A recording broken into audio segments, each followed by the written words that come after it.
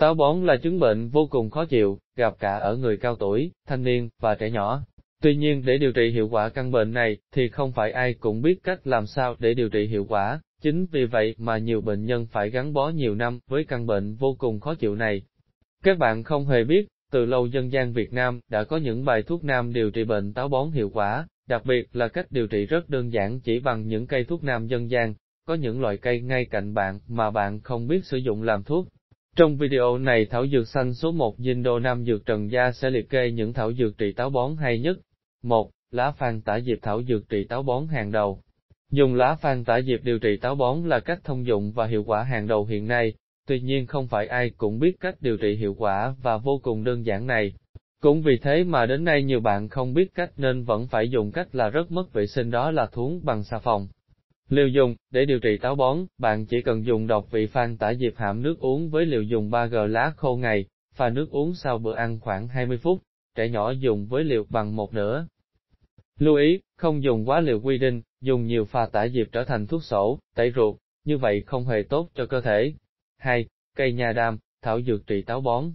Cây nha đam hay lô hội là một loại tà roi dược quý được rất nhiều chị em trồng vừa là cảnh vừa dùng đắp mặt làm đẹp, ngoài ra theo dân gian nha đam còn là một vị thuốc quý có công dụng điều trị táo bón rất hay. Cách dùng, lấy khoảng 3 lá, rửa sạch, bóc vỏ ăn tươi hoặc dầm đường mà ăn hàng ngày. Công dụng, điều trị táo bón, mát và thanh nhiệt cơ thể. 3. Lá và hạt muộn muộn điều trị táo bón.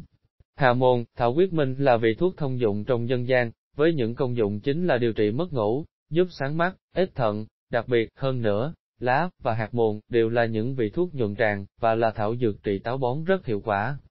Theo dân gian, lá mồn mồn có công dụng tương tự như lá phan tả diệp và có thể dùng thay thế cho lá phan tả diệp trong điều trị chứng táo bón. Liều dùng, 8g ở 10g hạt sống, hoặc 5g lá, đun nước uống sau bữa ăn khoảng 15 đến 20 phút. 4. Điều trị táo bón bằng mật lợn, heo. Tuy không phải là một loại thảo dược, mật heo có nguồn gốc động vật nhưng vì là vị thuốc có tác dụng điều trị bệnh táo bón rất hay, nên nhà thuốc vẫn muốn giới thiệu tới bạn đọc về vị thuốc này. Theo dân gian, mật lợn là một vị thuốc quý, dân gian thường dùng mật lợn làm thuốc điều trị ho, viêm họng, điều trị chứng táo bón.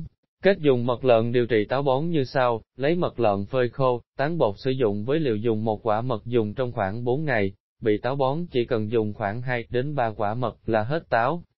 Ngoài ra các loại thảo dược trị táo bón còn có một số loại rau nhuận tràng, rất thông dụng trong đời sống hàng ngày của chúng ta như cây rau mồng tơi, rau đay, củ khoai lang, quả thanh long, hãy chịu khó dùng thường xuyên các thực phẩm này kết hợp dùng thảo dược.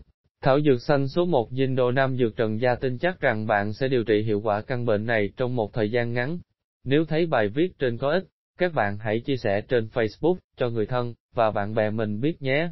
Cảm ơn bạn, hiện chúng tôi có cung cấp đủ các loại thảo dược trên, quý vị quan tâm hãy gọi tới số điện thoại 0839 363 777 để được tư vấn miễn phí và đặt hàng với giá hợp lý nhất. Nhà thuốc chúng tôi gửi hàng toàn quốc nhận hàng mới phải trả tiền.